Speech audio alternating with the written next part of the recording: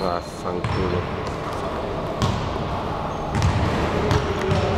Hey, esta tarde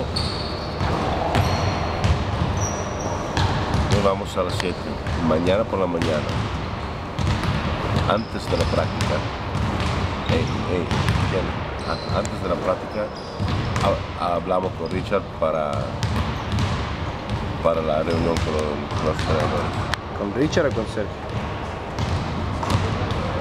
También eh, es el mismo.